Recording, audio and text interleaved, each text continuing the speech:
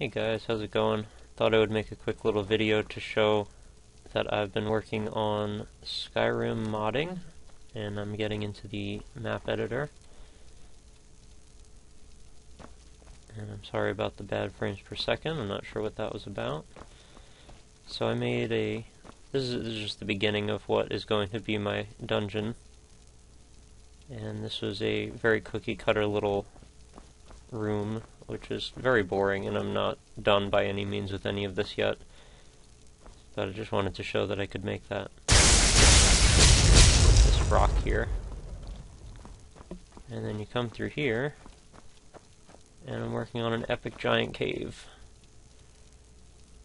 Don't mind the blue floor yet, that's not done. Or the crazy speckled rock up here, I don't know what that's about, I gotta fix that. There's also a bunch of uh, holes and stuff I have to fill in.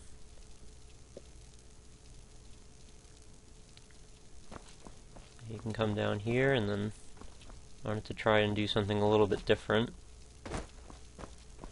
And there's going to be a few uh, platformy parts to this dungeon. This little area around the door here took quite a while to make sort of blend a bunch of rocks together and build pillars and stuff that blocked all the holes.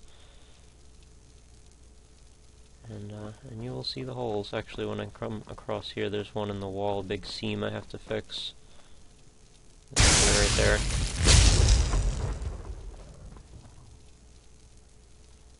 But I don't think this is too bad for two days.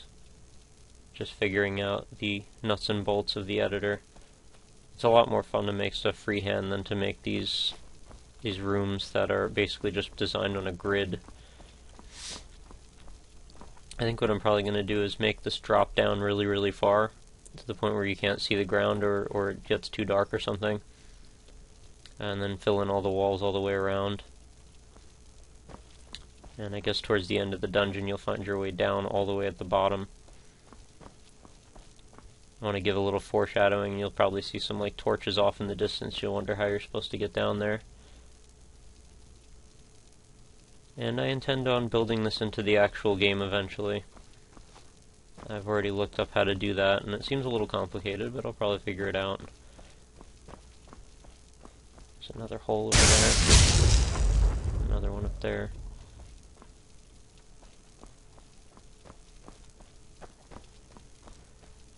So yeah, this is it.